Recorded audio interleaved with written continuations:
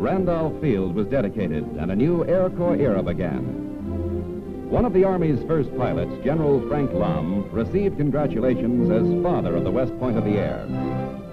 It soon developed into one of the greatest air bases in the world. To this $10 million Texas Air City came headquarters for the Air Corps Training Center.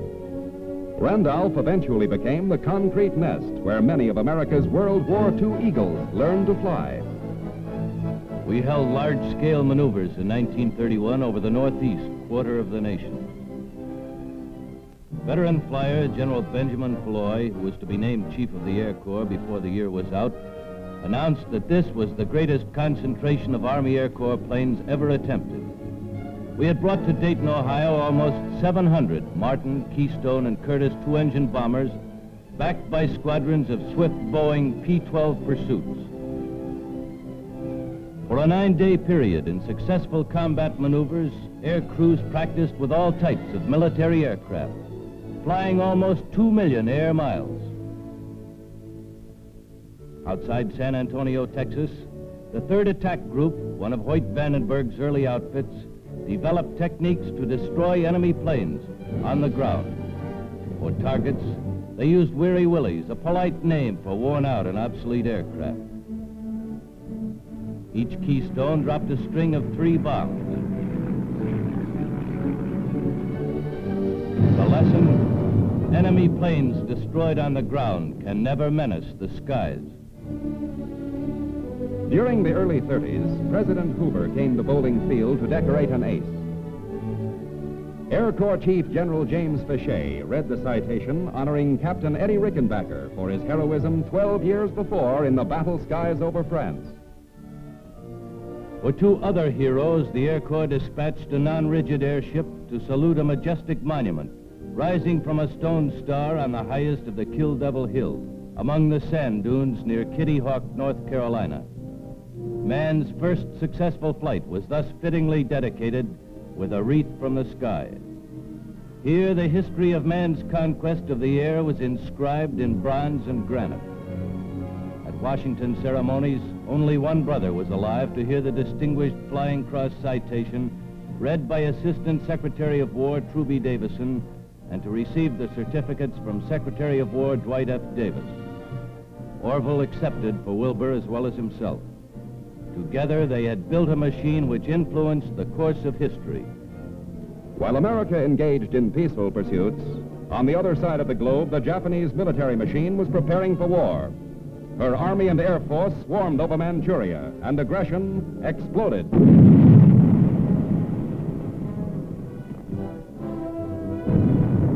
Japanese airplanes and ground troops in the fall of 1931 began an unwarranted attack on Manchuria, the beginning of world conflict. In the States, we agents of the Indian Bureau had asked the War Department to help us get food to the snowbound Navajo tribes in Arizona. The 11th Bomb Squad came to us from March Field. After the flyers wrapped the supplies in blankets and fastened them to the bomb shackles, they hung the Mercy bundles inside the planes like bombs. Near a line of Curtiss bombers, we pointed out the first trading post on the map. The pilots called it the target. It was easy to see that this winter of 32 was a man-killer as we flew north past Navajo Mountain, traveling 133 miles an hour in open plains at zero temperatures, we searched the mesa. There it is, the big lodge in the middle of the stake fence. Flying low, the pilot put the B-2 Condor on the bomb run. Skimming over the foothills, it felt like we'd surely graze those trees on the ridge. There go the mercy bombs. It was magic. Machines designed for killing an enemy were saving our friends. We almost tripped on our own shadow as we waved goodbye and headed back. Agents on the scene reported that by dropping 15 tons of supplies, the Air Corps had saved entire families. Our aviators engaged in peaceful pursuits. At the same time, there were war rumblings in Europe. While we flew missions of mercy, an ominous voice was threatening the peace of the world. Vor uns liegt Deutschland, in uns marschiert Deutschland und hinter uns Komm, Deutschland! Many of us in America had made the mistake of laughing at this Adolf Hitler. From 1933 on, his leaders made their party day in the city of Nuremberg a tremendous spectacle. The Nazis had finally come into power. These very same kids were to face Allied armies, navies, and air forces only a short time later. Within six years, as Germany's Wehrmacht and Luftwaffe, they threatened the freedom of all the world.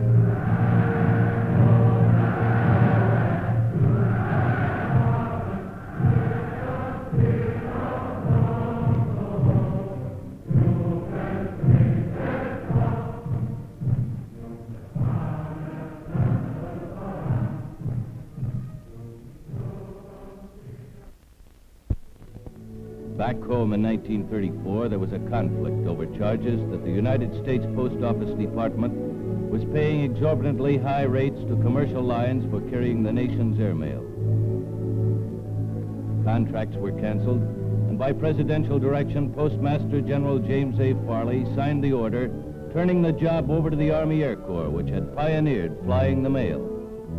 In obsolete planes, including open cockpit fighters and trainers, we maintained day and night airmail schedules.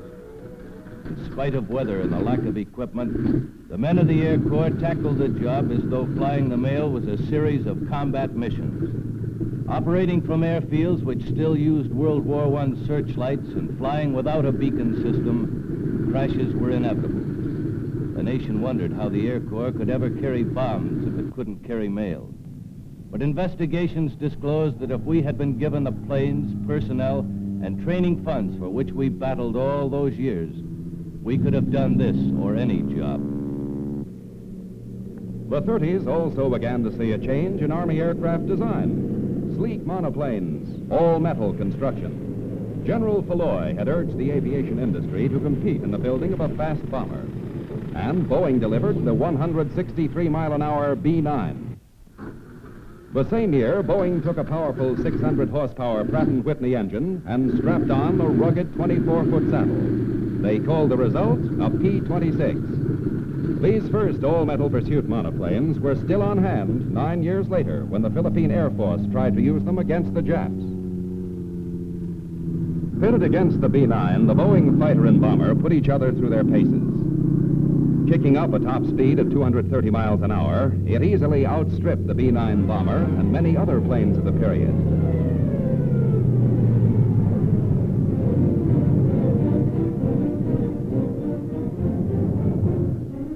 Another entry in the bomber competition was Martin's early version of the B-10, also a twin-engine, all-metal monoplane. It had a waist gun, a nose gun, and an efficient bomb bay which could close on a 2,000-pound argument. This armament, plus a 1,300-mile range, made it the most powerful bomber of the time, while its speed of 207 miles an hour made it the fastest in the world.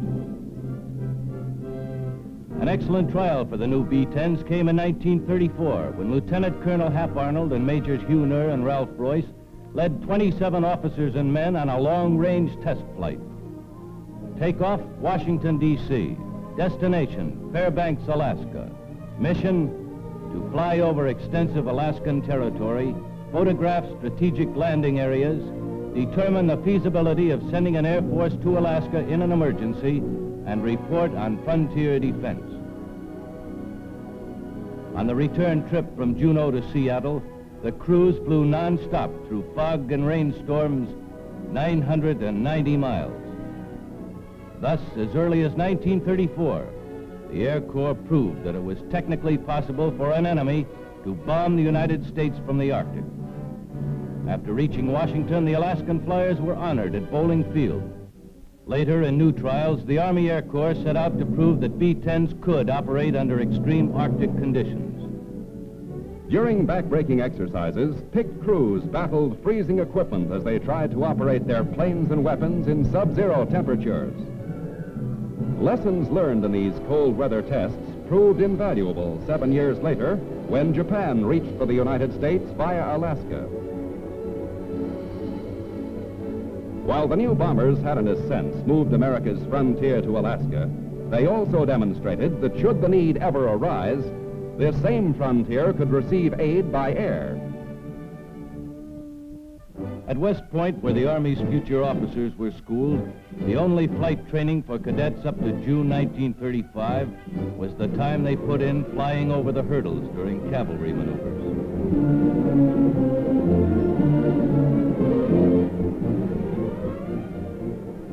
But the class of 36 was the first to start aviation indoctrination. To Mitchell Field, New York, came 279 cadets in three separate groups under command of Air Training Officer Major Omar N. Bradley. Each group prepared to stay a week to get 20 hours of flying, along with extensive ground courses from Army and Air Corps experts like Air Officer Lieutenant Colonel Walter H. Frank. In this first detachment were future Colonels Richard Carmichael, Clinton True, Gordon Austin, and Benjamin Davis, among others. They studied aircraft familiarization, gunnery, and engines. Before long, orders of the day called the names for the first flight. Down the line went the cadets, trailing their waltzing Matildas. Engines were warming up as the cadets climbed aboard, bucking the slipstream. Pilots took the controls and the line of obsolescent LB-6 bombers taxied off the hard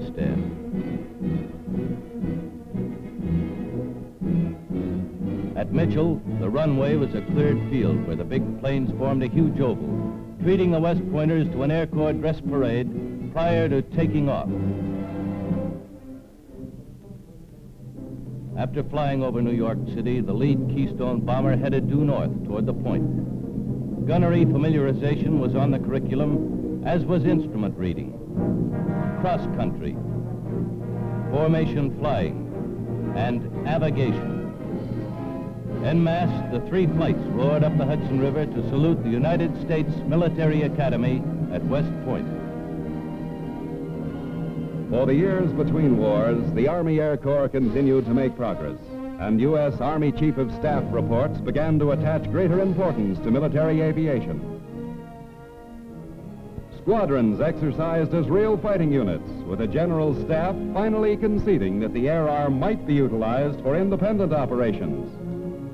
As the next film chapter will show, hopes of big bomber advocates boom during a period of alarming developments on the world scene.